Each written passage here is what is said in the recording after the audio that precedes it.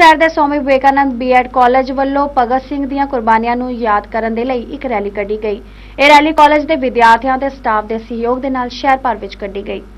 ਇਹ ਰੈਲੀ ਵੱਖ-ਵੱਖ ਜਗ੍ਹਾ ਤੋਂ ਹੁੰਦੀ ਹੋਈ ਸ਼ਹਿਰ ਦੇ ਮੇਨ ਬੈਰੀਅਰ ਚੌਂਕ ਤੇ ਪਹੁੰਚੀ, ਜਿੱਥੇ ਆਜ਼ਾਦੀ ਦਿਵਸ ਸੰਬੰਧੀ ਕੋਰੀਓਗ੍ਰਾਫੀ ਪੇਸ਼ ਕੀਤੀ ਗਈ। ਇਹ ਕੋਰੀਓਗ੍ਰਾਫੀ ਇੰਨੀ ਵਧੀਆ ਢੰਗ ਨਾਲ ਪੇਸ਼ ਕੀਤੀ ਗਈ ਕਿ ਆਉਣ ਜਾਣ ਵਾਲੇ ਲੋਕਾਂ ਨੂੰ ਰੁਕਣ ਲਈ ਮਜਬੂਰ ਕਰ ਦਿੱਤਾ ਗਿਆ।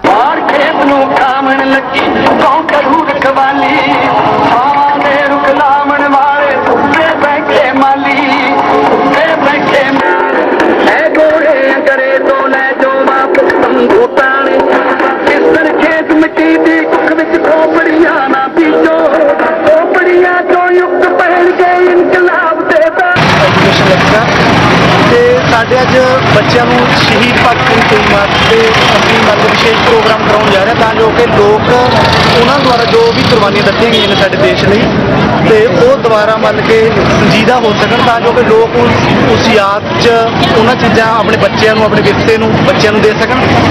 ਤੇ ਇਸ ਲਈ ਅਸੀਂ ਆਪਣੇ ਬੱਚਿਆਂ ਨੂੰ ਕੋਰੀਓਗ੍ਰਾਫੀ ਵੀ ਕਰਾਈ ਗਈ।